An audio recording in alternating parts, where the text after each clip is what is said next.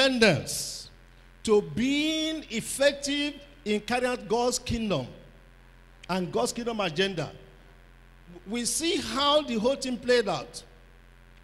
One of the things, he came to a point where Jethro had to advise him that he should make every member of the Jewish community to be effective and to contribute their own quota. You know that verse he gave him? Say, delegate, appoint people at different levels and give them responsibilities. Then it came to that point when the children of Israel, after eating manna, they started complaining for meat, balanced diet. You remember that story? They started complaining. And it was a very big experience for Moses. And he went to God and said, Who am I? Why, why are these people? They are bothering me. Then God said, Don't worry, I'm going to take care of them. Moses made a statement, say, God, do you know the number of people you are talking about? How can you provide what, what will satisfy them? Hey, remember that kind of argument? And then God says, I am the Almighty God, I can do all things. Remember all those things, just to encourage his faith. But then it comes to the point that God said, Since you think that this burden is too much, appoint 70 elders. And these 70 elders, the Bible said that the Lord took from the spirit he has put in Moses and put in all of them. And they were prophesying. But there were two that were absent at that ordination. They were in the camp. And the Spirit of God also fell upon them. And Joshua, who was being mentored by Moses, went to him and said, Excuse me, sir, there are two absentee leaders. And the Holy Spirit should not fall upon them. Ah, ah, they were not there. But the issue was that it was those people that God had chosen. Whether they were present there or not, the Holy Spirit had to empower them. And then Joshua said, No, it shouldn't be like that. Then Moses made this statement. He said, I wish that all the people of God are prophets. That is where we have another hint of the priesthood of every believer. That we could be filled with the Holy Spirit and do the same thing. But thank God that it was fulfilled when Jesus came. And it is that that gives us the competence that we, we need to develop.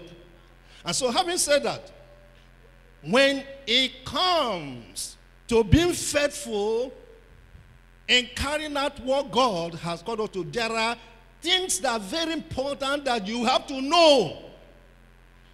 So, this man, the young Levite, they said, he just got up and said, Because the temple service had been compromised, the, the, the, the temple service had been relegated to the background. Nobody was coming. They were not paying tithe. They were not contributing anything.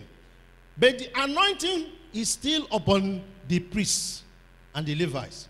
So he got up said, okay, let me go anywhere I can find something to do, activity to carry out, that will put food in my mouth and put clothing on my body, I will do it. And then he said, he got up. Then the devil had planned appointment for him. And we're told of one Micah who stole the mother's money and used it to buy an idol. Remember that story? And he set up a ministry. The Bible said that he first ordained his sons to be the priests. But then the devil ordered the step of this idol Levite. The Levite that has lost focus and priority into the house of Micah and he presented his identity. He said, I'm a Levite. Oh, Micah said, oh, Welcome. Welcome. And he explained his need. Micah said, Okay, today you have found job. And an ordinary man had to lay his hand on the anointed of the Lord to set him apart as a priest to his idol. And that gave him a very false sense of security. Said, Now today, God is with me. And this Levi, young Levi started serving with dedication, with commitment until chapter 18. And chapter 18 starts this way too. In those days, there was no king in Israel, and everybody did what was good on his side.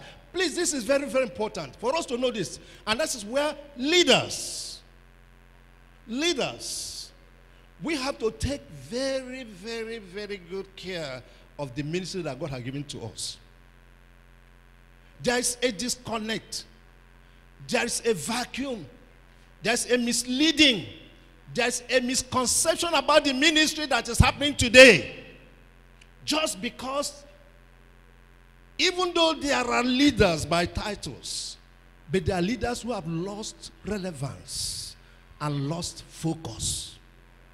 And you cannot give direction, you cannot give, you cannot help the people to have the right sense of ministry. And then he says there were this tribe, Dan, the tribe of Dan who had not got their own possession that time. So they were looking for a place to occupy. And he said they were moving about looking for unoccupied places. And as they were passing by the house of Micah, they heard the voice of the Levite.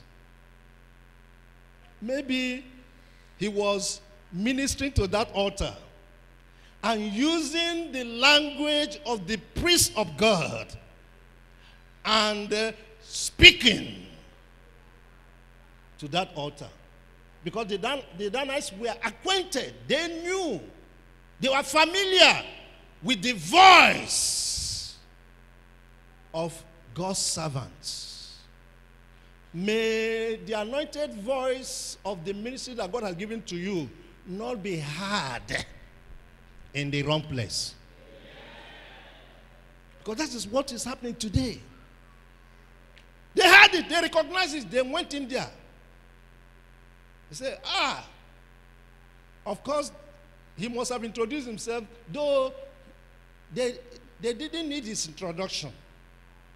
But then they asked him these three questions, which is very, very important if we are to be faithful and if we are to be committed.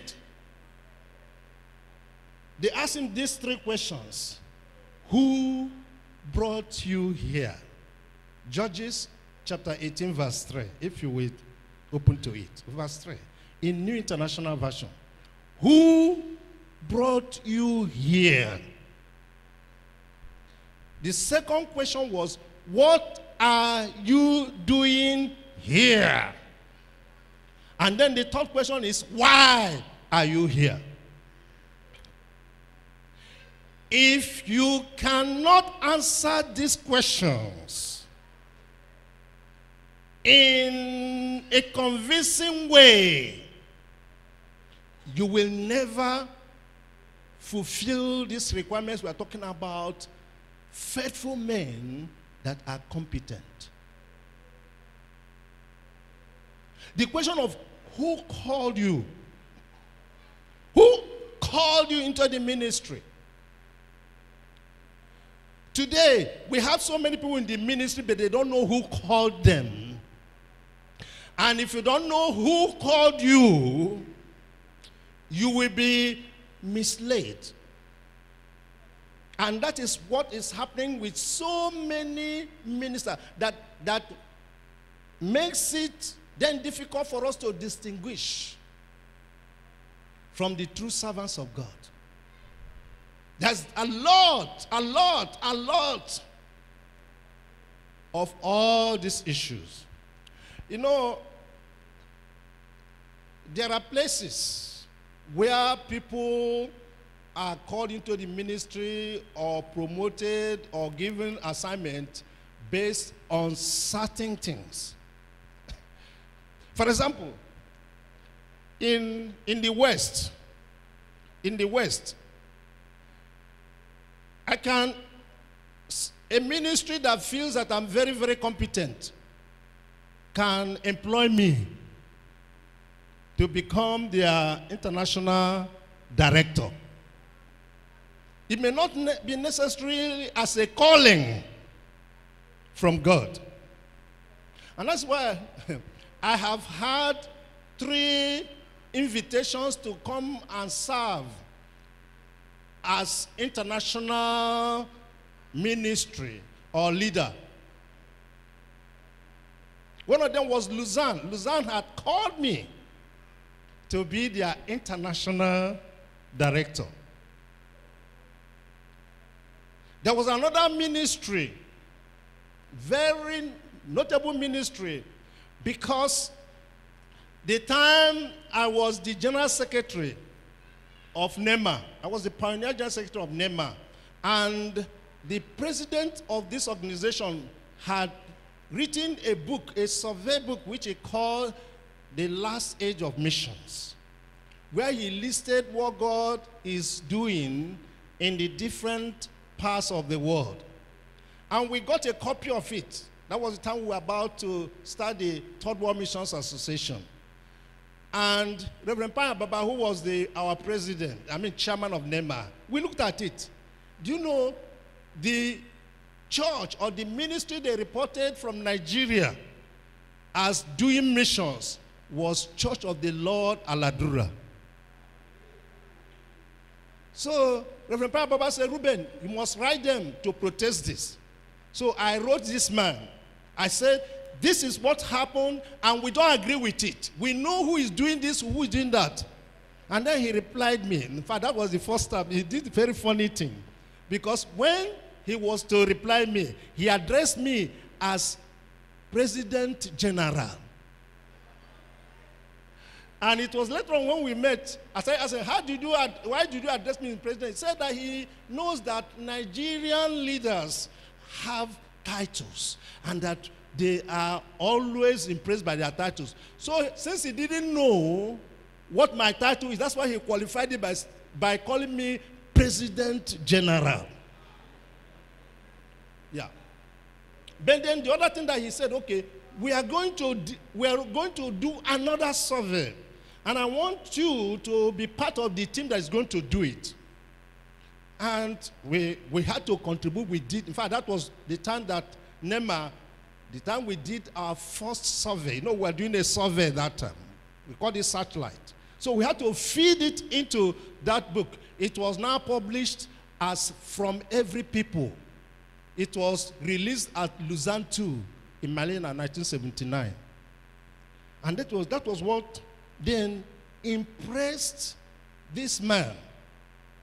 So, through the uh, director of international ministries, who was the coordinator of that project, he told him, said, I think if we can get Reuben on our team, we are covered. So they met me in Manila and talked about it. Said, no, um, I, I, until I pray about it. They now told me they were coming to Nigeria. Three of them. The international director, their president, I mean the president, the international ministry director, and their director for Africa and Europe. They said they were coming to visit me in Nigeria. I told them I was going to uh, Liberia at that time to meet our missionary brother Edet. Then they flew to Monrovia to meet me there. And then now they started telling me the privileges I will enjoy if I become a member of the international team. There, I laughed and told them, I said, "Mhm, God has not called me to that. And that what God has called me to do, I will do it as a Nigerian and not as an agent of an international ministry. They looked at me I mean, they looked at themselves like that. Then they looked at me. Now they said, because they told me, my family will move into the US, we have this, we have this, we have that, blah, blah, blah, blah, blah. And they told me, said, they have never seen a man who rejected such offer.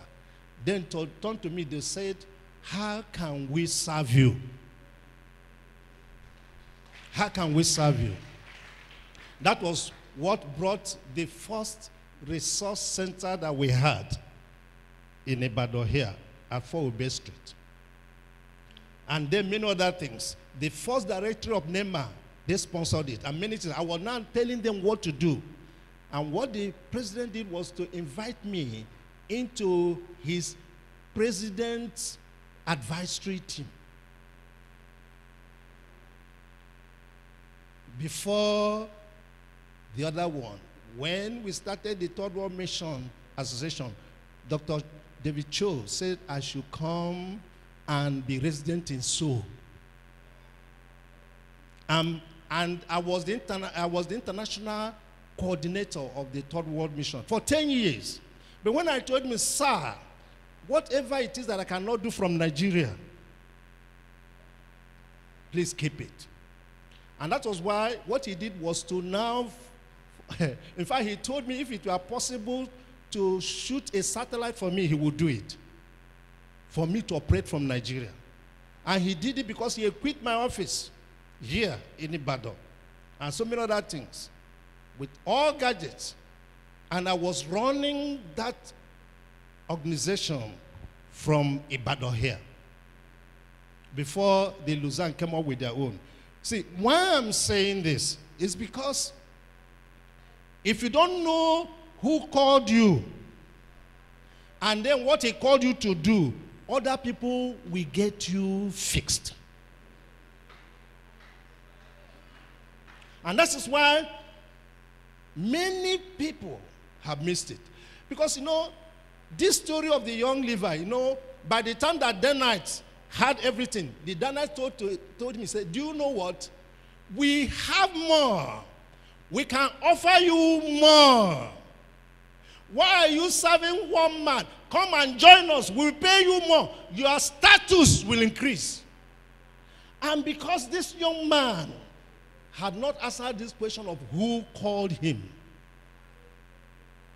he left what he was doing. In fact, the Bible said that he even carried the idols of Micah and followed the people who could pay him more. And it's happening today. Then the second question is what are you doing here? What is your ministry? What is your calling? And I want to also share this. Please just uh, endure with me. I'm not trying to blow my trumpet. I'm just trying to be faithful to what my friend asked me to do because when he talked to me and what he wrote, he said, From your experience, he told me, from your experience, share with us what it means to be faithful and competent missionaries. That's what he shared with me. And that's what I'm trying, I'm trying to be faithful to it. It was in my Form 4 in the secondary school in 1981 that God spoke to me that he had called me after the order of Paul. I didn't know what that meant. And it was after I had received divine healing. From four, that is before I had my school cert. And the people that were praying for me, one of them spoke out and started saying, God had called you, you are going to serve him in all over the place. 1971. Then, two years later, God said I should go to the university. Because what I did immediately I finished my school cert, I went to Ohaozara, a place called Okposi. I settled down there. I was planting churches. I thought I had started my ministry. And the Lord spoke to me and said, You will go to university. And to cut the long story short, the Lord directed me to the university that I attended, which is University of Ibadan here. The Lord told me which course to read. The Lord told me what I will do, I mean, where I will serve, and then what I will do after my service. But then, two years after this call, I came to the I come to my church in the village. And then a woman stood up and started prophesying. God has called you to go and serve him in the Holy Hill. Holy Hill is Assemblies of God training. But you are running away. You want to go and study. Hmm. then, when they were speaking, saying that, I started asking question in my heart. Say, Lord, is this you? could this have been you? Then a woman, another woman got up and then confirmed it with a vision. She, she saw in a vision a ship. You know, this ship, ocean moving this, had been prepared for me, but I was walking by the seaside. So then that was when I asked the Lord, can this be true?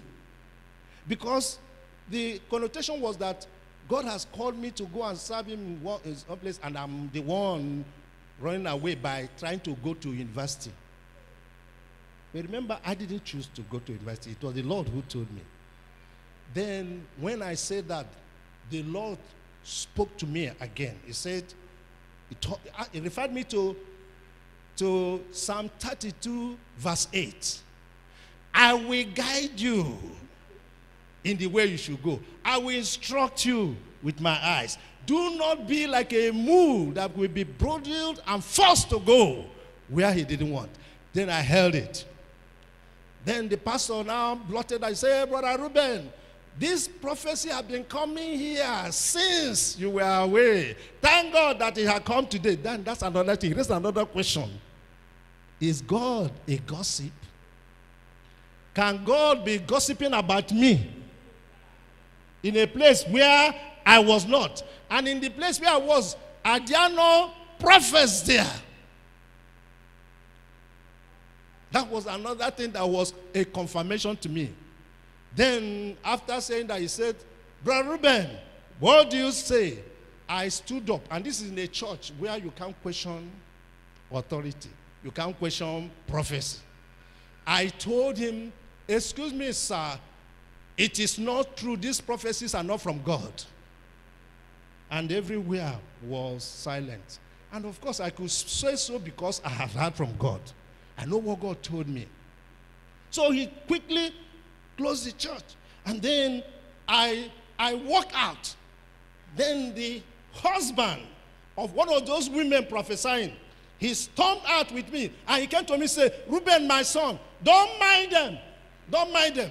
They have been saying that they needed somebody from that village and from that church who will go to the hill and then join in rubbing shoulders with the other pastors so that they will have somebody to represent them. Instead of telling you, talking to you, they are putting it in prophecy.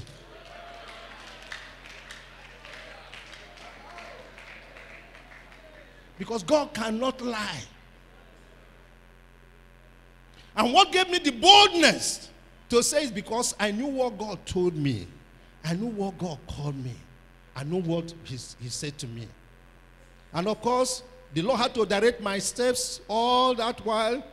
I finished my youth call where He sent me. One day like that, I was going to visit the director of Institute of Church and Society that time, Dr. Debola, with whom we were working in the Christian action team that we were mobilizing Christians for politics in those days.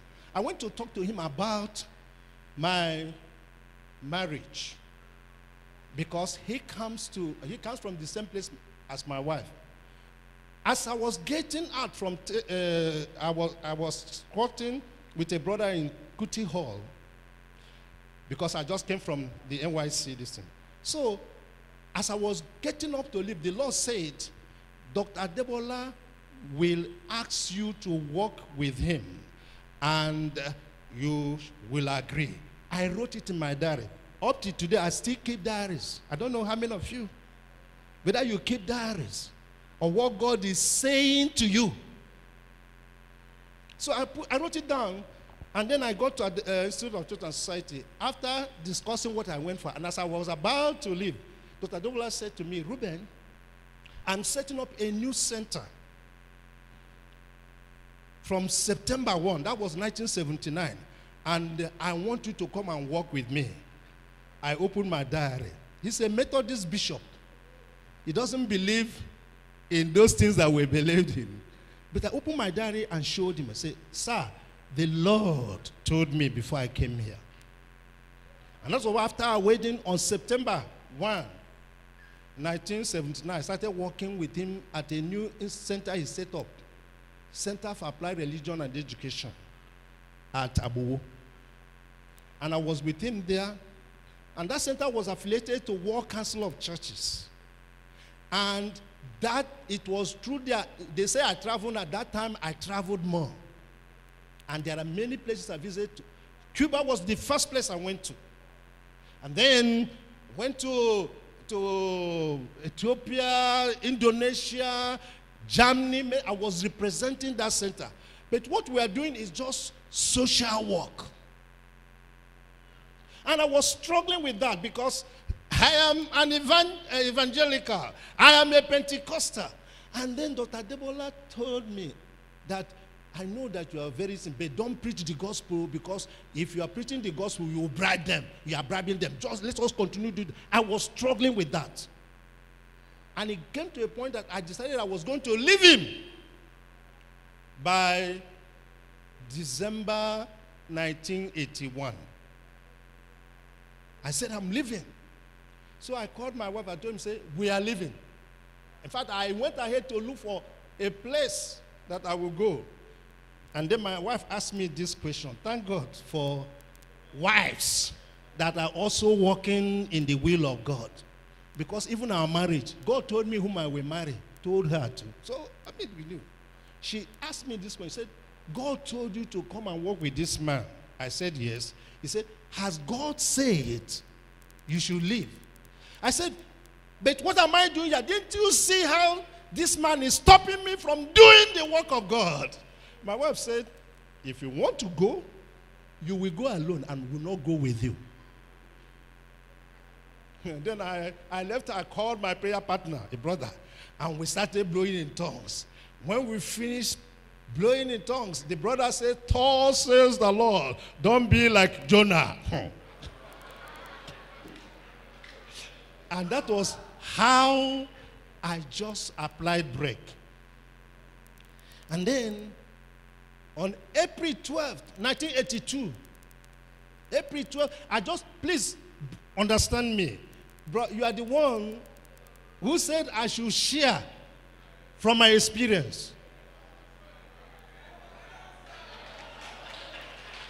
So we were having an Easter conference in Ife. And then the whole place like that, suddenly somebody started speaking. He said, Today I am making the call I have on Reuben Ezemadu public. I have called him into apostolic ministry. Then to help me and others to understand this. He said, Today I am calling, uh, I'm also making my call upon Godwin Elemobo. Some of you may know him, into pastoral ministry. Two of us we are called that, and hands were laid upon us. April 12, 1982. And it was during that meeting that the seed of CMF started coming together. We had a meeting after that. And then I got back to Bado. My director, Dr. Debola, called me and said, Reuben, I know that God's hand is upon your life. And I know that you have been working very hard. I'm releasing you at the end of this month to go and pursue what God has called you to do. So that was why on the 30th of April, I left the Center for Applied Religion as uh, Education. And then God spoke to me, said, I am going to be your paymaster. You will not receive any salary from anybody. 1982 to now. And that has had been. And God has really been my pay master. I'm not, I won't talk about that.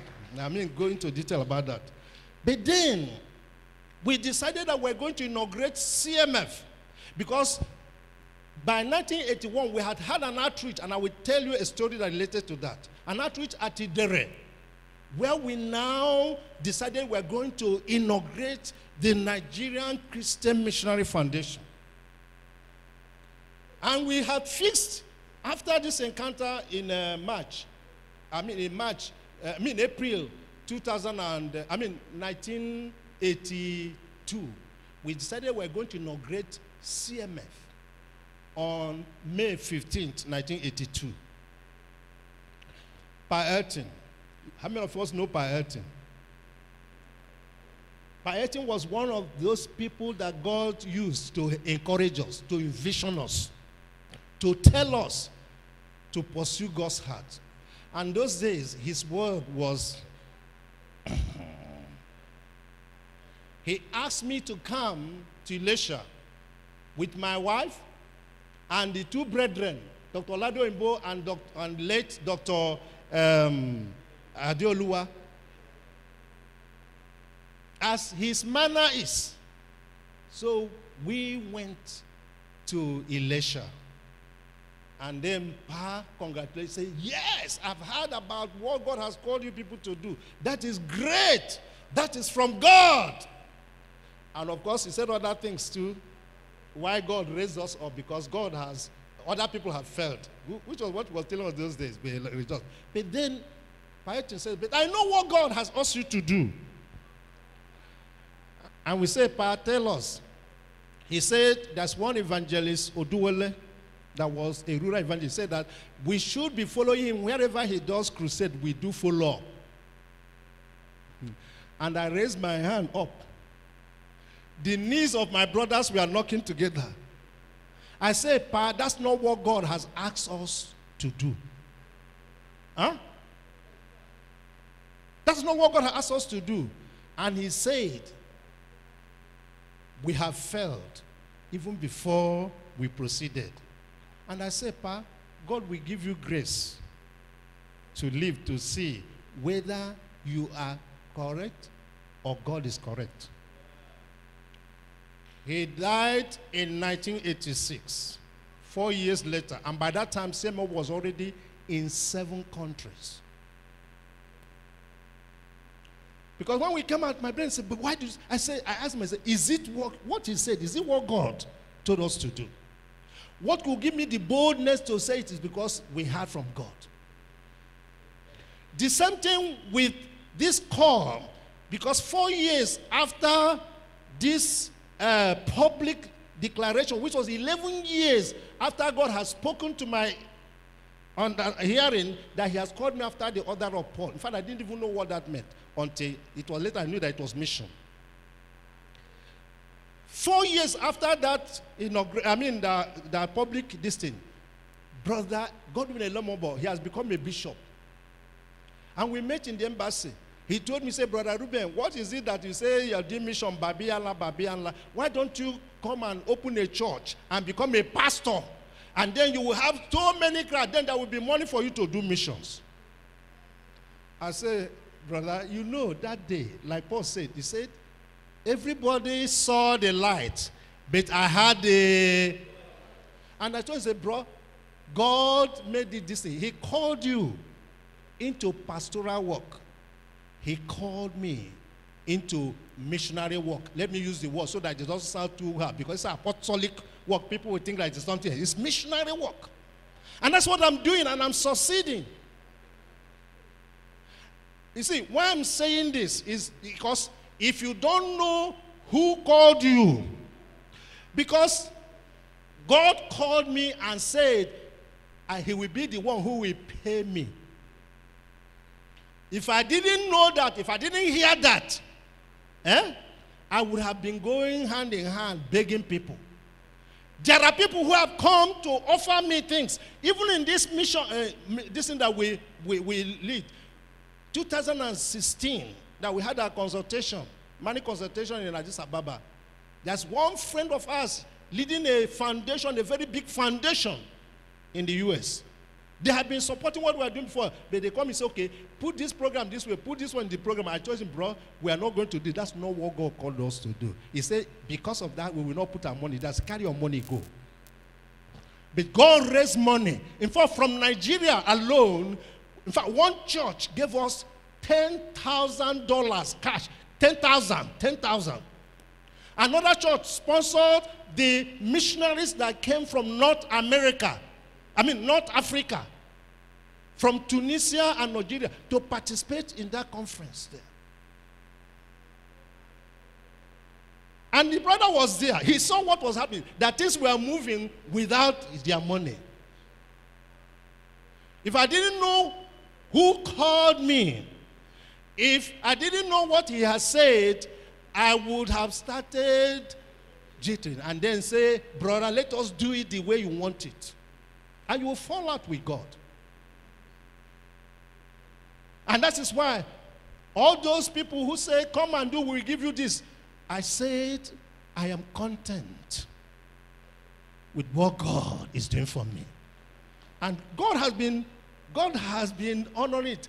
I was the first mission executive to ride a, uh, what do you call it, a Toyota Land Cruiser I was the first. And I didn't claim it. I didn't go out to name it and claim it. People called me and gave it to me. The same thing in the house I'm living now. Oh, you know the story. Yeah. In fact, that Jeep it has come back to life because somebody has brought me a new engine and everything. They are refurbished. Maybe in the next two weeks it will be back because I have labeled it a legacy legacy vehicle. And many other things. Why I'm saying this, brothers and sisters, is because what is happening today, like Bible asks about, can we find faithful people? But the Bible says that God is looking for those people whose heart are right with Him, so that he can show himself mighty on their behalf. And that is the thing. Can you, do you know who called you? And are you doing what he called you to do? Then the other question, why, is the question of motive. Why are you doing it? You know, that young man said, I want to do this ministry so that I will find food to eat and clothes on my body. That was his motive in ministry. And then the Bible said that those people, their belly is their God. And they are like hirelings, which is what happened to that young man. When people paid him, offered him more, he left that one and went to that place. And that is lack of faithfulness. And that's why many people are not lasting in the ministry or producing results that will make impact Those three questions we must be settled. And if you are settled, then that is what God said through Jesus. In Matthew chapter 6, verse 30, 33, he says, If you seek first his kingdom and his righteousness, every other thing will fall in line. God takes over your business if you mind his business. Faithfulness Faithfulness remaining at your post. Doing what God has asked you to do. Having your allegiance to Him. Let us have a look again at that Hebrews chapter 3 that we, we made reference to in the morning. Talking about where our faithfulness should be directed. Hebrews chapter 3 just to um, re- refresh our mind about what we are talking about. Verse 2, he says, he was talking about Jesus. He said, He was faithful to the one who appointed him, just as Moses was faithful in God's house. Faithful to the one who appointed you. And if you are not sure of who has appointed you, remember in the missionary enterprise, I know my brother, you would have heard this. Mission, there was a time, there was a time that a missionary under CMF, because the day CMF was launched at Trenchard Hall there, we became the first and the richest mission, mission organization. And by that time, there were only two others or three others that were existing. And that May 15th, we left Trenchard Hall with 33,000 naira. In those days, one naira was equal to four dollars. We left Trenchard Hall with that. In fact, Archbishop Idahosa, who was the, the one, because one brother, one brother gave us 10,000 naira at that meeting in 1982. Archbishop uh, Idahosa rubbed his hand on. He said that this is the first time he has seen an individual give that amount of money to ministry, not even to his own ministry. And you know, when we left there, we started saying, Yeah, we have the money. And we announced anybody that wants to come and work for God, come. And people came.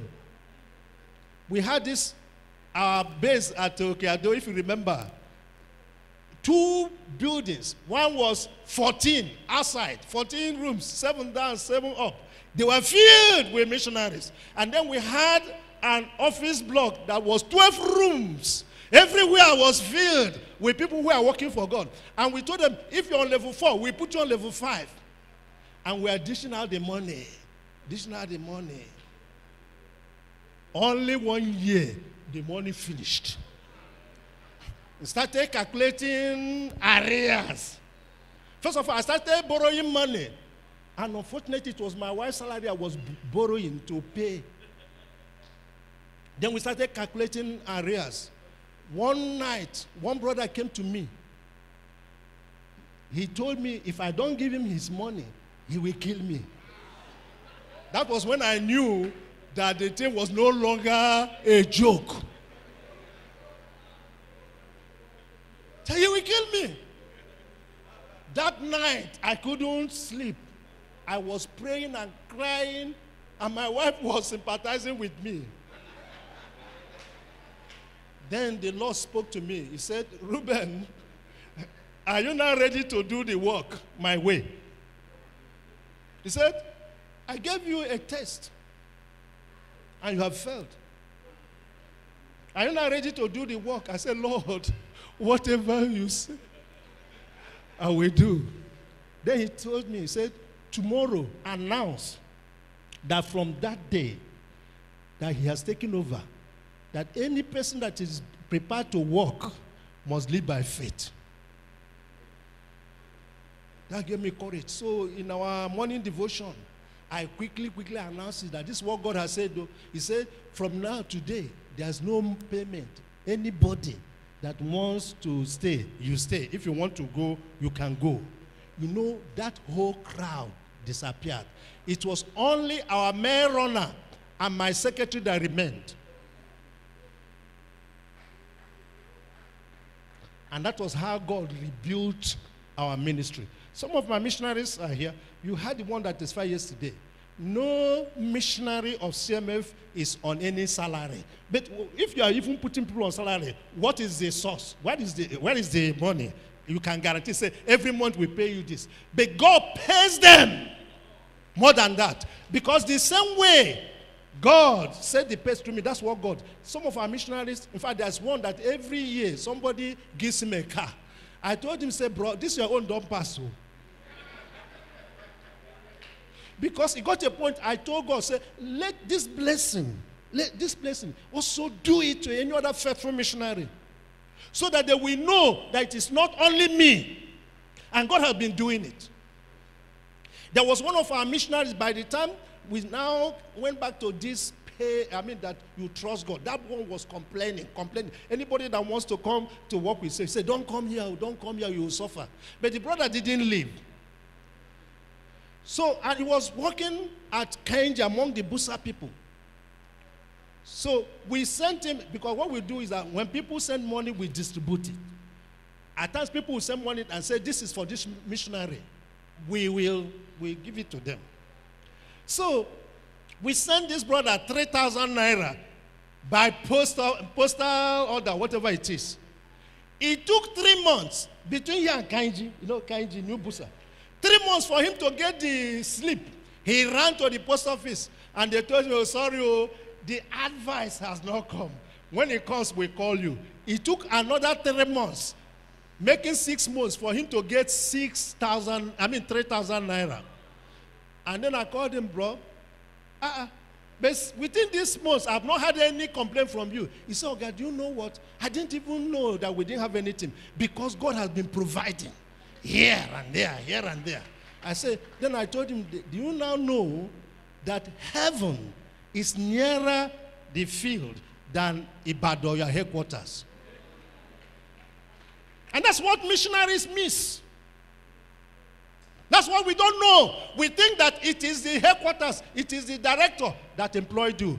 If the director is the one who has employed you, I pity you. You better resign and go and find something else. It doesn't work in God's enterprise. And God knows how to do it. After all, Elijah, you know how God took care of Elijah. Then, suddenly, we have from this brother. He said, Oh God, you know what? I have been blessed with a station wagon, Peugeot station wagon in that place. I said, How did it happen? He said that some people came from Europe, these people, NGOs who do whatever they are doing, studying that. They met this brother in that bush. And they asked him, What are you doing? He said, I'm a missionary. He said, Hey, missionary in this kind of interior place. They now collected his particulars. They went to UK. They ordered for a Peugeot that is 504 station wagon, paid for everything, and delivered it to him in the field there before we had it. And I, I called and said, Bro, do you see now? See how God works his home. Because if the law, if they ask me, those who need vehicles, you won't be even number 20 or number 30. And if they pass it through Ibadan, I won't deliver it to you because I know that it is not what you need, my own reckoning.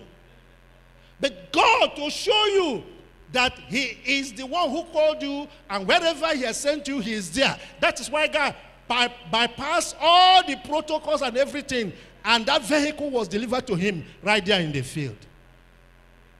I don't know whether somebody is hearing.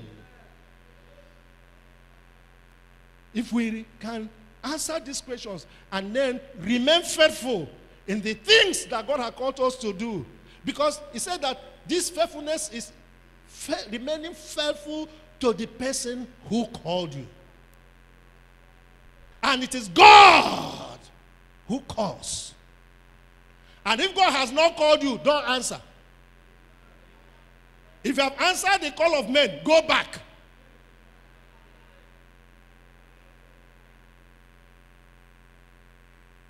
But if God has answered you, if things, if God the one called you, even if things are not working out the way you expect, remain there. At the appointed time, He will show up. Because He uses all those things to also prepare us. Can we trust Him? Can we endure? Because if you read those things that Paul said to Timothy in 2 Timothy chapter 2, he talks about endurance. He talks about running the race eh, according to the rules. These are very, very important. So we have to know who called us and then why he called us and what he has asked us to do. Otherwise, you'll be doing banza work. Do you understand what I mean? There are many of us that are doing what the Lord has not called them to do.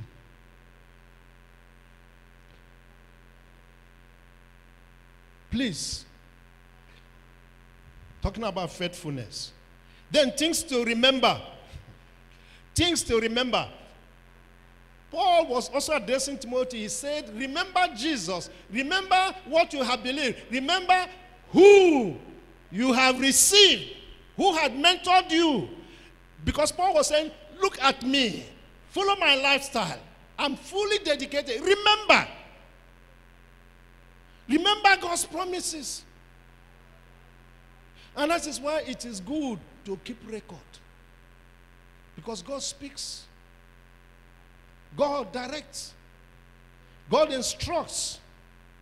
So we remember our source, we remember our example, the example we are to follow. See, please, because that's also what happened, sir. That a time came when our missionaries started interacting and mingling with missionaries from the West who come with everything prepared. You know? They started asking, eh, but we, we need this, we need that. And that brings me to another experience that I want to share with us. When the Lord spoke to our brother, John Adeniji, one of those brethren that God we were raising up that time, that you should be sending him to Gambia. All that we needed was that, yeah, God has spoken. But we didn't have enough money. We had only enough money to buy one way ticket. One way. One way. 283 naira in 1986. 283 naira to land him in Banjul. And then we changed uh, 25 naira to $100 because one naira was $4. Those are all that we gave to a brother and sent him off. And he got into Banjul at the airport. They stamped, permitted to enter for seven days. Despite the fact that that was ECOWAS country, Brother John came out, opened that spot, and said, Father, when you say you are sending me to Gambia, you didn't tell me I'm just coming to see the airport and come back. And my leaders who have agreed with you and sent me to come here, they are not expecting me back in seven days. That was why they gave me only one way ticket. We have arrived here. The rest is for you. I said, while he was still there, while he's talking, somebody came and touched him. He said, ah, I learned you're a missionary from Nigeria. He said, yes. Then Brother John started spe- speaking to me. It happened to be Brother Amos Aderomu when he was working with Wake. So he said, I came to drop off some of the missionary, Wake missionaries going, so um, let's go to my house. And he took him to his house. And then that evening, there was an advertisement in the uh, television said they were looking for, uh, I mean, a technical drawing teacher in the Gambia Technical College. And Brock had HND Mechanical Engineering from Polytechnic. So the following day, he went and applied. That day, they gave him work, gave him work permit, gave him resident permit, put him on salary, and then gave him accommodation. And that was how Brother John was the first missionary that planted a church among the indigenous Gambians.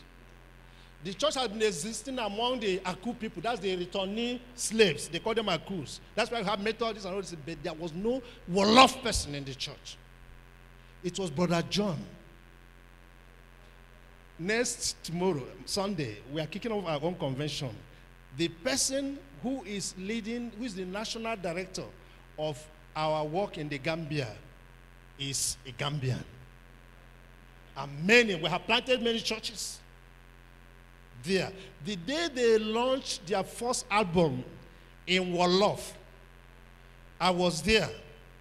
And when they were singing, people from outside, like this, many people rushed. They rushed into the church and they were joining, you see, because that was the first time they had gospel music in their language, in their mother tongue. And that is what we're talking about. But you know, we were at a conference like this, conference of mission leaders. And we are talking about how we send our missionaries. Eh, they were sharing their own.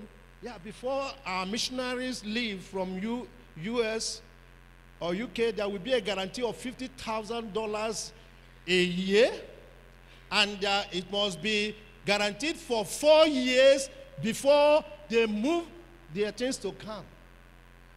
And then when they come, of course, there are other things that are going to go. Then I told them, I said, that is too much. Oh.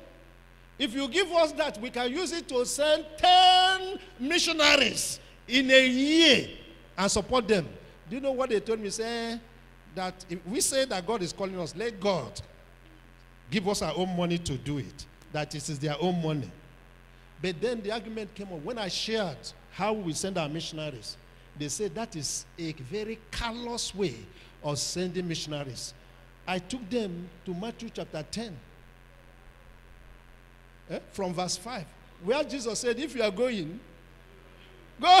Yeah, verse 9, he said, Don't go with any strategy, don't go with money in your pocket. Have you read that? I said, We are the ones sending missionaries God's way. Because in verse 42, Jesus says that people will be raised to support you. He said, Those who will give you a cup of cold water in the name of a prophet, they are also fulfilling their own things. Why are we robbing them of that blessing? And many other things I don't want to bore you with. Maybe let me just quickly let me quickly round up because I don't want to keep you very long here. But this thing we are talking about is true. If it worked with those people those days, it is working with us today, it will work forever. And those are the kind of people that God needs now. That's why some of I wish that you will be there from Monday at Idere. Even, even that place, the way God gave it to us, Idere. The, the Lord gave it to us. The current Oba Onidere of Idere, and it's a, it's a first class Oba. He's a student, third year at Emmanuel College here. On the 18th, which is the last day of our convention, we are ordaining him to the ministry. He, he it was Archbishop uh, Akinfenwa, the Anglican church, that sponsored him at Emmanuel College. But when it came to his ordination, he said, I want to be ordained by Christian Missionary Foundation because of what God has done with our ministry in that area. That's why we have our base. And this is the last one that, that God did that this man, a whole first class Oba, submitting himself to us. We are the ones to go and lay hands on his head. We have, we have told him what it means to be, and we told me if you violate these rules, we will deordinate, we will derobe you. Yes. So it is working, brothers. And I'm what I'm sharing with you now is what is happening now. And God still demands the same from every one of us. Then, let me just leave that and uh, run quickly so that we can. We have to know who our source is. I mean, remember our example, remember our rewarder. Then, what do we do? What do we do? One, we must remain obedient. You know, that was one of the things that Paul said. When there was all this pull, and remember what he told King, uh, King Agrippa? He said, I was not disobedient to the heavenly vision. And what he said, he said, everybody saw the light, but I heard the voice. And that is what I'm following. And when we read Philippians chapter 3, he now tells us that I have had to count every other thing as a loss for the excellency of knowledge of Christ, so that I may know him and the power of his resurrection, and that I may be a partaker of his suffering. and, and made him to be focused. Because that's another thing. If you are going to qualify as a faithful servant, you must remain focused. That's also one of the advices that Paul gave to Timothy. Say, don't be distracted. Know what you're called to do. Give yourself wholly to it. Keep focused. That is another problem that we have. There are many of us today. you are going on the road that God has said to you. You then meet and uh, somebody who is already you you you they, they talk. Go there. You go there. You meet another person. You no. You must know what God has called you to do and follow Him. And that's why the Bible says that our focus should be on Jesus. And then be submissive to the leading of the Holy Spirit. That is because He cannot mislead you. Otherwise, you know, for example, Philip was deployed to be doing something else by Peter. Do you remember that story? But when the time came, God redeployed him. You remember the story? And then when he was in that place, the Holy Spirit took him out from that place and took him to a desert. The same thing with Paul. Paul, you know, there was a time that they felt they wanted to do a ministry in the place that they, they, they have been working before. Acts chapter 16, from verse 6 to 9. He said, The Spirit forbade them. They turned the other direction. The Spirit said, Don't do. It's the right thing, but you don't do it here. And he said that while they waited, in a dream, a man said, Come over to Macedonia and help us. Then they knew that that is the new place. That's another thing that will help us to remain faithful. And then we should remain humble too. We should remain humble. That is one of the characteristics of Jesus Christ. And the Bible says, Let this mind that was in Christ be in you. If you are going to be faithful and also accomplish what God, you must remain humble because there's a way that our success gets into our head. And because of that, you become a despot. May God forbid. And then finally, I just want to read these passages or this, uh, these statements for us and we round up. In Matthew chapter 24, verses 45 to 51, Jesus told the parable of this faithful servant. He said, The man that his master gave charge over his fellow servants to give them their food, their portion at the appointed time. He said, But faithful, he said, Blessed is that man when his master comes, shall find him so doing. Doing that which your master has committed into your hands. Doing that which your master has committed into your hands. And then, and it requires, therefore, a sense of urgency and a sense of accountability. Do you know we're going to be accountable? If we know that we're going to account for everything the Lord has given to us, then we must be faithful. Because we will come. And He says He's going to reward us according to our faithfulness. Then in Matthew chapter 25, verses 14 to 30, which is also repeated in Luke chapter 19, it is talking about faithful in little things. If you are faithful in little things, then a greater thing shall be entrusted to you. Then let me tell you this other story. In those days, no, because when we were in the campus, the Lord taught us how to exercise authority as believers. And one of those areas For those of you who can remember, if you remember what happened in 1978, um, Ali must go. Those battles we fought. Okay. When we discovered that the communists and the socialists were using the students' union, student union leaders, to carry out the agenda, which we rose up to oppose. In fact, people like Comrade Olaone, Comrade Onimolede, some, some of you remember them, who were the chief, listen, they were lecturers at you are here. It was when we discovered that they were the ones that were causing trouble for Nigeria.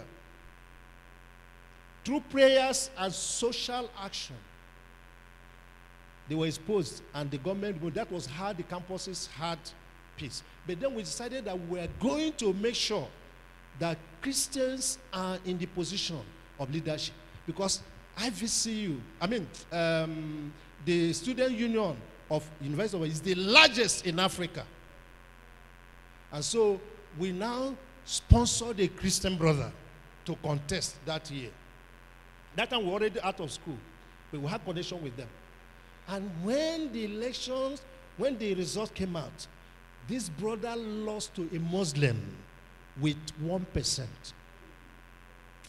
And the team pained us.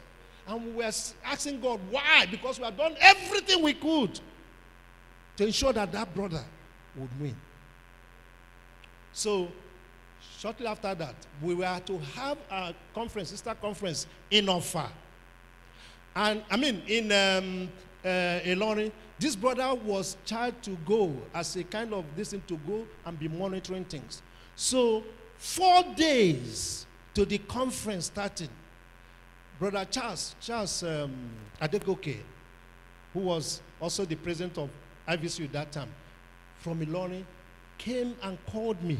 He said, Brother Reuben, that he was from Ilorin. He went to the venue, and the principal said he doesn't know about any conference coming. But whenever we ask this boy, he say, Ah, praise God, everything is in order. He said, What was happening? And it was too late to begin to advertise. In those days, there was no GSM, uh, this thing. So we had to quickly go and find a venue in Offa. Offa. And what we did now was to put notice at the college in Ilorin. People will pass Offa. Those coming from the east passed Offa to get to Ilorin only to be told that was the most chaotic conference I've ever seen. And so while we were there, we were talking, talking, uh, talking about the other things.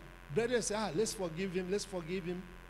And then we were to have one follow-up meeting in Ibadan here. The brother volunteered that he was going to coordinate it. I said no. The brother said, ah, let us, let us uh, forgive him. Let us give him another chance.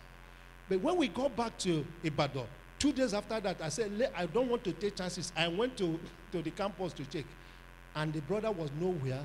There was this social uh, club that was going on tour. It's called Excursion. He had traveled them.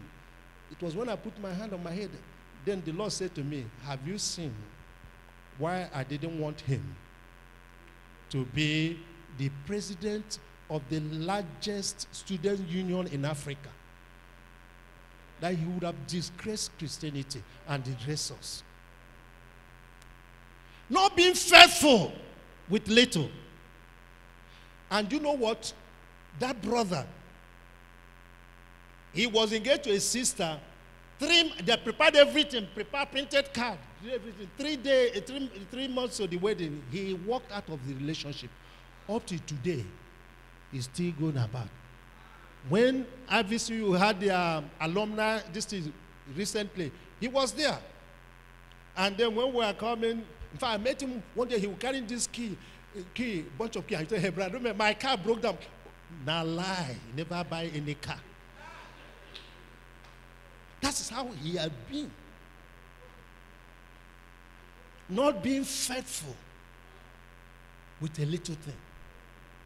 And that's what's keeping many of us. And then the other thing said that if you're not faithful with another man's, how can your own be entrusted to you? I want to stop there. Because the other thing that he talks about is, Paul said is that he said, What you have learned from me, practice it. What you have seen, practice it. Practice makes perfect. We are talking of competence. Competence doesn't come by faith, it comes by doing. It comes by doing. And that was what was said about Ezra. He said, Ezra made up his mind to know the will of God, to do it, and then to teach it. The same thing was said about Jesus by Luke in Acts chapter 1, verse 1. What Jesus began to do and to teach. It is only what you know you can use and you can pass on to others, which is another thing. Let me tell you if you are holding what you know, you will never be competent. Passing on, which was what you say, pass on. What you know, pass on. There was a time people came to me and say, hey, Bro Reuben, but you are too generous. Hey, this thing, people have written books with my notes, with my teachings. And people say, because if I do any person as I give them. like John Osteen told, told us one time we were there, uh, we were in his church, and um, they, are, they announced to introduce, they said there are Nigerians who are there. He called us to greet us. But he said that somebody had come from uh, Port Harcourt. Uh, somebody working in Shell had come back from Port Harcourt. And they told him that he saw his books and his um, cassettes on the streets of Port. So when they introduced us, they said, Brethren, I learned that you are publishing, you are um, selling my book and my, my uh, uh, this thing in your country. Go ahead. Your copyright, I mean, my copyright is your right to copy. Then he said, why I produce these things that you get to people. If you can sell it and make money of it, provided it gets to people, go ahead. Until the daughter told her, it is not these people. He was saying that we are the ones. The sister, the daughter told her, it's not those people. He said, okay, even if you have not known how to do it, if you can help me spread my teaching and all these things by selling and making money of it, as long as you get it out, go ahead. And that is a kingdom attitude. And that is what I do. I have helped people eh, to do better than I'm doing. And people say, hey, why are you sharing? Why are you? Because I discovered that the more I give, in fact, that's what the Bible says. It is more blessed to give than to receive. The more I give, I create space to receive more. The more you pass on. That's what Paul said. Pass it on. And let it not stop with you. Pass it on. Let the other people pass it on. That is why we perpetuate the ministry. And that is why we also improve in our competence. May the Lord grant this kind of grace to every one of us here. And never think you have arrived. Because He said, keep on learning, keep on studying. Do you know what, sir? Even after I prepared these things, I still keep on preparing, learning. Even this afternoon, what I have, what I've uh, been doing now, it was new things I learned between the time I left here and this time. Keep on learning.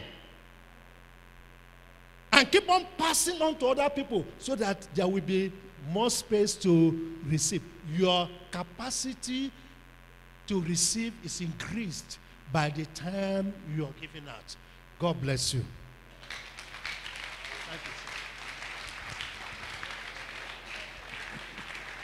Let's rise up on our feet. hallelujah. I said hallelujah. I think some people's cups are overflowing by now. Am I correct? I said, I believe your cups are overflowing. You will never, never remain the same in Jesus' name.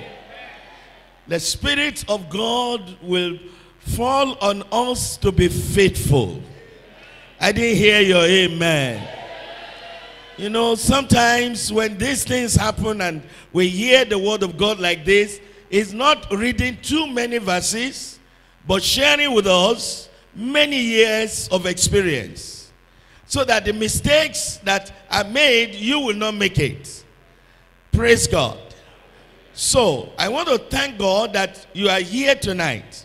And you heard very clearly practice makes perfect. Praise God. And I showed you on Wednesday that the man of God must be thoroughly furnished unto good works.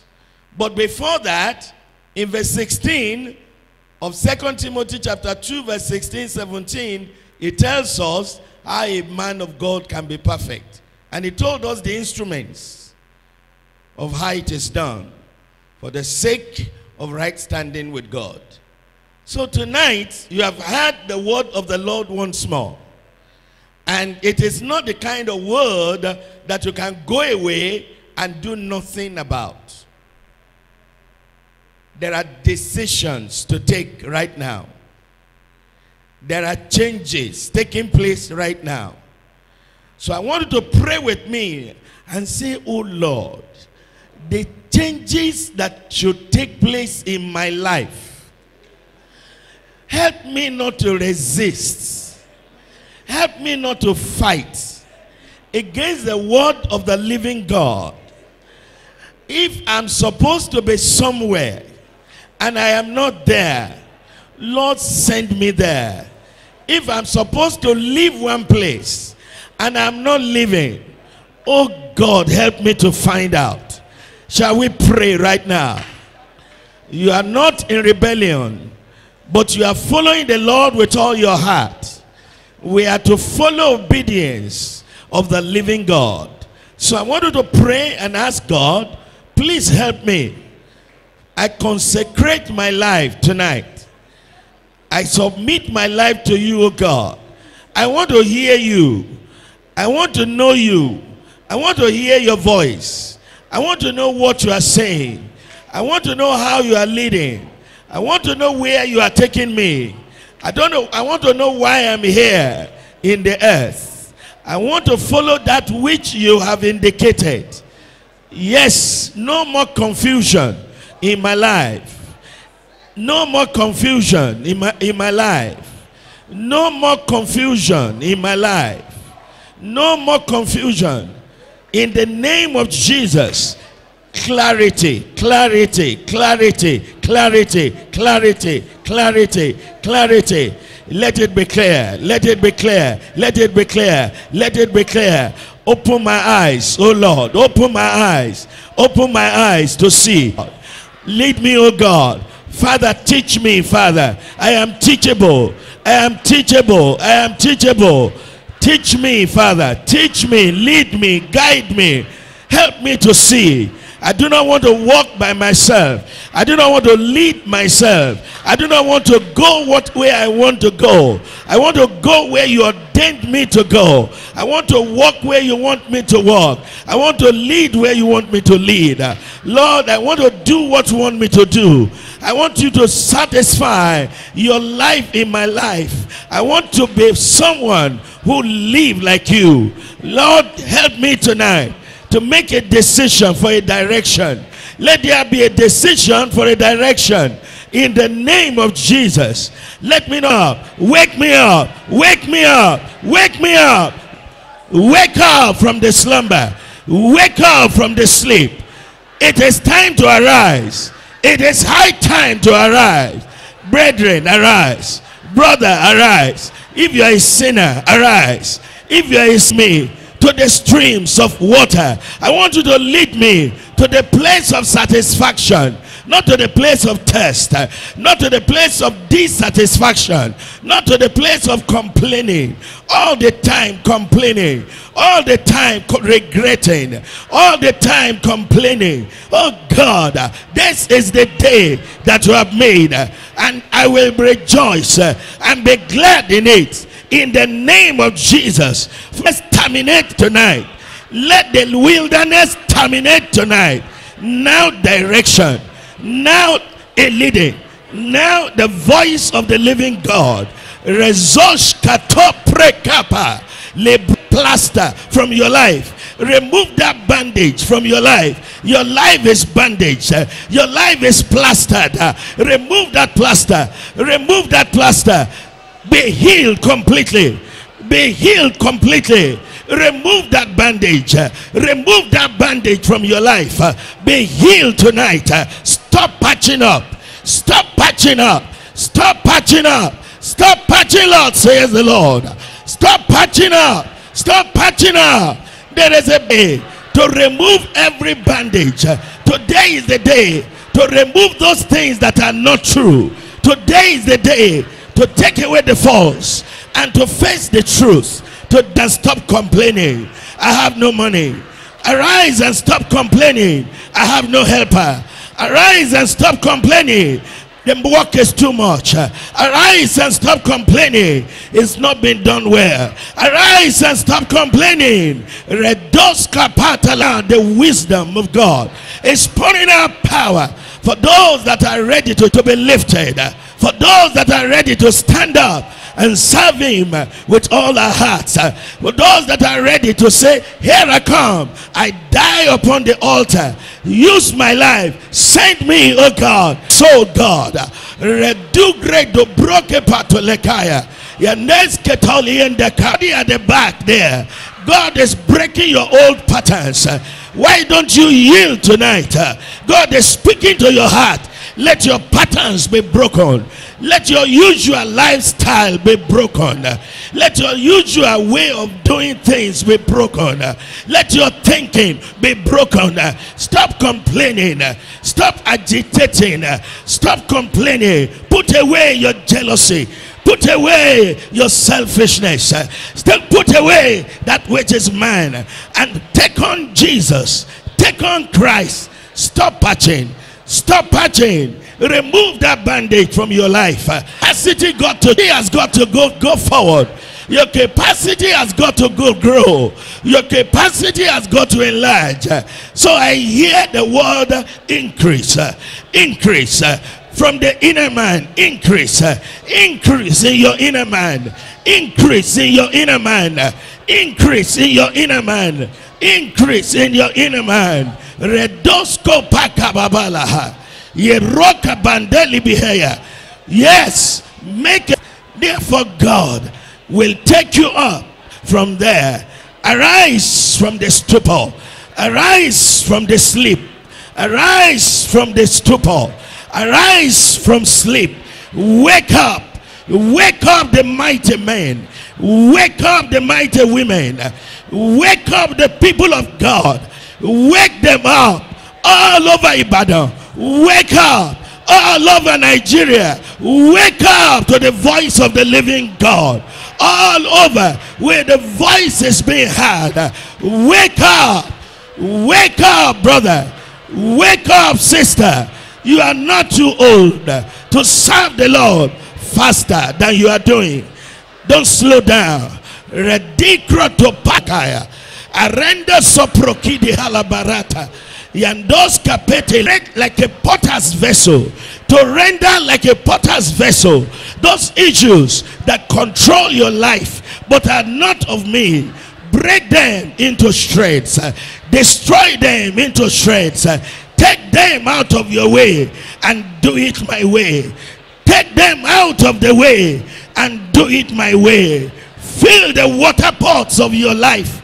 I'll fill it by the power and turn it into wine of the Holy Ghost and turn it into the Spirit in the name of Jesus. In Jesus' mighty name we pray. Put your right hand on your hand on your stomach and begin to pray in tongues right now. Lebrekatonda paskat in the name of Jesus of God. Be filled with the power of Jesus from the crown of your head to the sole of your feet. Yes, to the end higher. Out of belly. Loud, loud, loud, loud, loud, loud. Let it be strong. Let it the word come out of your mouth strong. Strong, strong, strong, strong. Dot of God come out from thence. Let the power of God roll islands.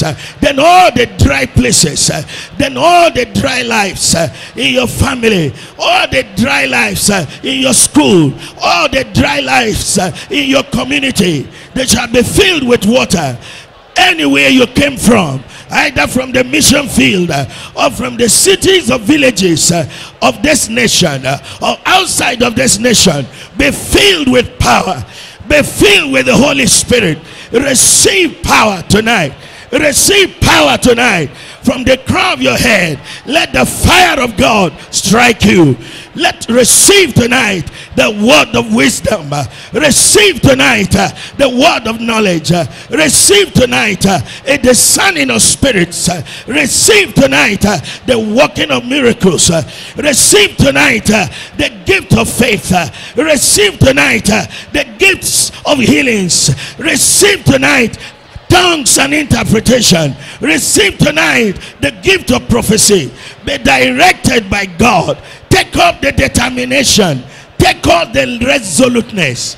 Take up the faithfulness. Take up that you are resolute tonight. That the resolution of God has come into your life. No more shaky, shaky, shaky, shady, shady, shady. No more. No more wishy-washy. No more up and down. Redo Redudo broke patalebiyetekaya. Yeah, the Spirit of God has come to break that pattern. Accept it tonight. Receive it tonight. Uh, Bread to pakapa. Yenda panic. Kill that snake. Don't let it leave. Kill that poison. Destroy it. Destroy it. You have the authority. You have the power. Kill that snake. Kill that snake that trouble you. Kill that distraction. Kill that poison that wants to kill you so that you are not fulfilling the will of God. Kill that poison. Destroy that poison. Kill that snake tonight. Kill that snake in your life in the name of Jesus. And then let the Holy Ghost come upon your life. Yield to Him. If it's not coming, ask Him to cleanse you. Ask Him to take away the hindrance from your life. And just come. And just come and fill you with power. Yadiso tokabas. Heal the sick. You cast out devils uh, and drink it to lambas. Uh, It's not time to complain. Uh, It's time to do the will of God. All Thank you, Lord.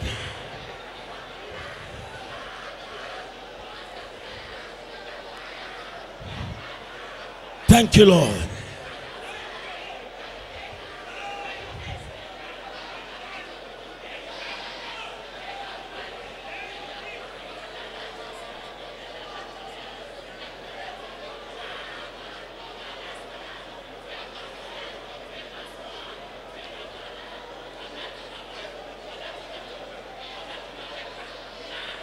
Complaints. No more complaints. The power of God is upon your life. The power of God is upon your life. Be obedient. Be obedient. Walk with Him. Cooperate with Him. In Mighty name we prayed. Father, in the name of Jesus. Father, in the name of Jesus, we speak more life to your life. We speak more power to your life.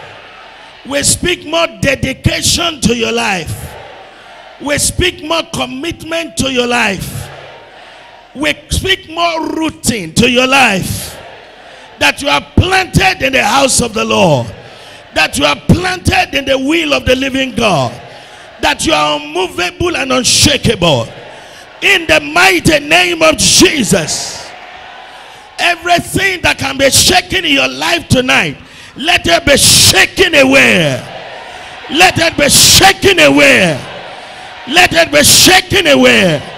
Let it be shaken off. In the name of Jesus.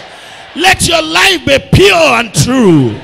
Let your life be true and holy in the name of Jesus, mighty God, that you are acceptable to our Lord Jesus Christ, that you are acceptable to the Holy Spirit, that your angels will never run away again. In the mighty name of Jesus, receive direction, receive the leading of God, receive the guidance of the Holy Spirit, receive the word of the living God, receive the word from above, receive the leadership of the Almighty. Return to where you ought to be, return to your estate Go back to that, that, that place that God ordained for you in the name of Jesus. Go back to default situation. Go back to default situation where God will begin to build you up once more. All the regrets of your life, Father, tonight we sink them in the ground. We sink them in the ground. We sink them in the ground all the complaints, all the regrets, all the things to say, if, if I knew, if I knew, wipe away your slate tonight in the name of Jesus. Wrong marriage will not delay you. Wrong decisions will not pull you down. Be repaired in the name of Jesus. Be repaired in the name of Jesus. All lives that have been patched. For as we were praying, I saw bandages on many legs. I saw plaster here and there. Many lives have been plastered and managed. But tonight, God said, I have come to remove the plasters. I have come to remove the bandages. Your life will no longer be managed. You will live a true life. You will live as a true Christian. You will be in the open and God will back you up. God will support your life in the name of Jesus. And any power that say you will not go into that direction, we bind them tonight in the name of Jesus. We bind them tonight in the name of Jesus. He said, Whatsoever we bind on earth is bind in heaven. And whatever you bind here now is bound in the heavens. They shall no longer be able to overpower you. In the name of Jesus, you will do the will of God. You will walk the way of God. You will go the direction of the Almighty. You will not do your own will. Thank you, Father. Blessed be your name, O God. May we remember this day. May we remember a turning point. May we remember a landmark. May we remember this pillar. May we be satisfied that here was it. Plant your own pillar tonight. Thank you, Father. Blessed be your name. Hallelujah. Jesus' name. Amen. Hallelujah.